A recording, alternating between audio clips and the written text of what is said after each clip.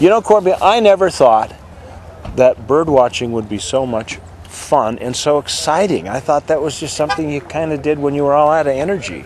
Yeah, it. Uh, today on At Your Leisure, we started out kind of slow bird watching. But yeah. but it got faster. It did. Yeah. This is, of course, uh, our episode on the web of At Your Leisure. Check out all the stories and uh, check out a little bit of what happened for us today.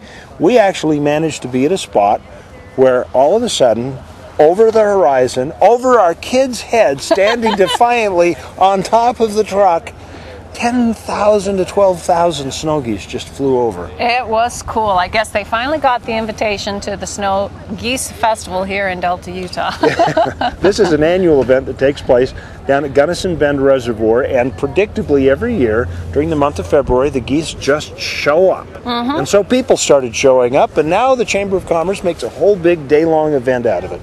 And it is a lot of fun. It is. And what's fascinating is this the geese, they start out down in the southern tip of California, down in the Baja, somewhere in that area, and they work their way up into Canada and they pretty much follow the same predictable path every year.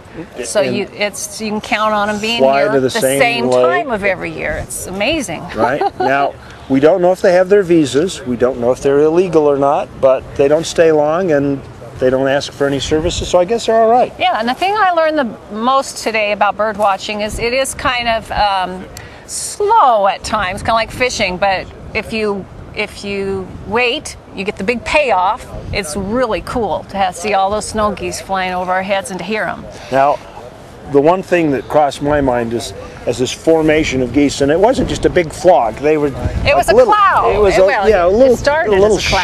shapes and, Yeah. and wings and things. And I thought it'd been funny if one formation had come up and it had P O O P poop right over as it flew over your head. you That's know? not what you told me earlier.